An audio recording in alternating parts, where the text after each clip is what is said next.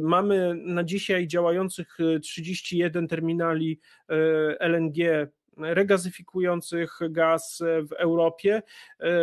Wcześniej, jeżeli popatrzymy sobie na lata 2017-19, to, to wykorzystanie tych terminali w Europie Zachodniej wahało się od 20 do, do 45%. Najwięcej wykorzystywała Hiszpania, największy miała ten procent utilization, czyli tego wykorzystania, natomiast e, Holandia, Belgia to było na poziomie około 20%.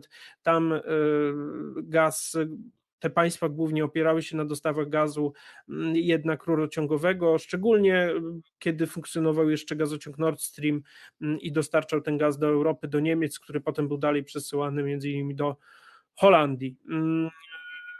W, w, naj, w, najbliższych latach mają zostać oddane do użytku kolejne terminale LNG, kolejne projekty LNG, e, które pozwolą na jeszcze bardziej, jeszcze bardziej zwiększyć te możliwości importu mm, paliwa gazowego. Tu na przykład na tej mapie mamy e, właściwie to jest mapa stara i ona tutaj pokazuje, że w Niemczech mamy planowany tylko jeden terminal w Brunsbüttel e, na północy Niemiec, natomiast de facto dzisiaj w Niemczech funkcjonuje trzy terminale, czwarty jest e, budowany na wyspie Rugia, także ta mapa już powinna być zaktualizowana o cztery dodatkowe terminale.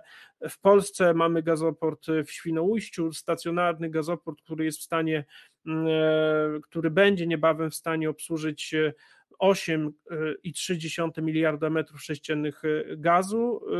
W Zatoce Gdańskiej do 2027 roku ma stanąć gazoport pływający, tak zwany FSRU, i ten gazoport będzie w stanie, e, w zależności od konfiguracji, e, regasyfikować rocznie od 6 do nawet 12 miliardów metrów sześciennych gazu.